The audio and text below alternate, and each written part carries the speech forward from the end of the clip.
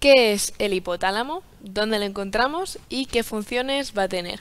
Bueno, pues vamos a ver que es una estructura que la vamos a encontrar en el sistema nervioso central, ¿vale? Es decir, nos vamos a situar en nuestro cerebro, ¿vale? Y dentro del cerebro o del encéfalo vamos a ver que hay diferentes divisiones, ¿vale? Como el telencéfalo, diencéfalo, mesencéfalo y luego ya desde ahí el tronco cerebral, bueno, muchas divisiones de estructuras de nuestro sistema nervioso central y nosotros nos vamos a, centrar en lo que sería el diencéfalo, ¿vale? Porque en el diencéfalo encontramos al hipotálamo, ¿vale? Y, el resto de estructuras que formarían parte de este diencéfalo y que se relacionarían mucho con este hipotálamo, pues serían el tálamo, el subtálamo, la glándula hipófisis, la glándula pineal, ¿vale? O sea, todas esas estructuras se van a relacionar mucho con el hipotálamo.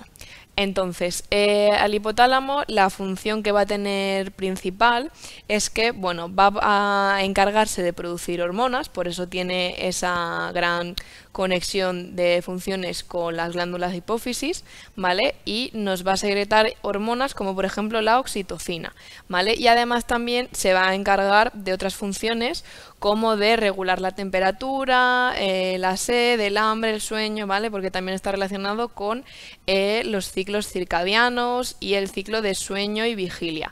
¿Vale? Entonces, pues va a estar eh, íntimamente también relacionado con el sistema límbico, que es el de las emociones, y luego, pues como hemos comentado, con funciones vitales de nuestro cuerpo. Entonces, ahora te voy a poner el software de anatomía para que te acabe de quedar claro, pues dónde se sitúa exactamente este hipotálamo y cómo es.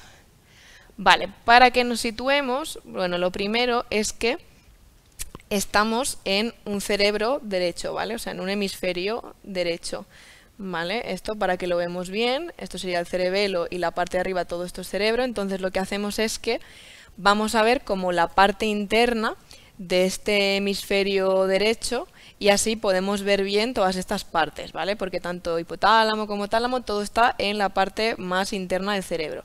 Entonces, vale, el hipotálamo sería lo que tenemos aquí señalado en rojo, ¿vale? Vemos aquí cómo se relaciona íntimamente con la hipófisis o glándula pituitaria, ¿vale? Luego por aquí tendríamos al tálamo, ¿vale? Entonces ahí vemos la gran relación que tienen todas estas estructuras que formarían el diencéfalo, ¿vale? Y hasta aquí la información acerca de esta estructura.